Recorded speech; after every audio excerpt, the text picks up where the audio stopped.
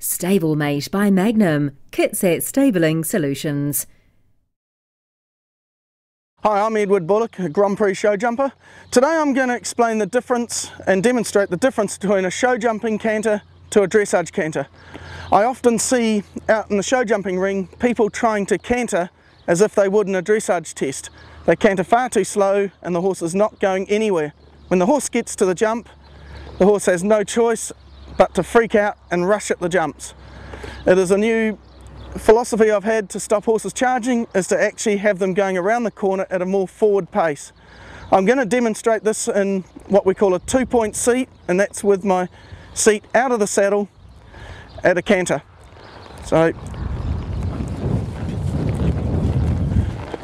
so in a jumper I'm asking my horse to be going at a nice positive forward pace what I don't want to see is your horse galloping and bolting away out of control like a racehorse. What you want them is to be going in a nice forward rhythm. The front end should be still light and not much weight and the back more weight with the back end but it's going forward that is the important part what I see in the dressage test is riders going an extremely slow canter and while it's okay to sometimes do a canter this slow in schooling on the flat, it is important that your horse is comfortable and used to going forward. So it's very important that if your horse can jump at, canter at this speed and is comfortable, then they're usually happier to jump at this speed.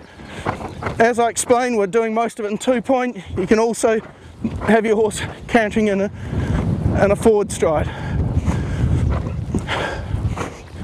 Next week I'm going to explain and demonstrate the difference between collection and going slow.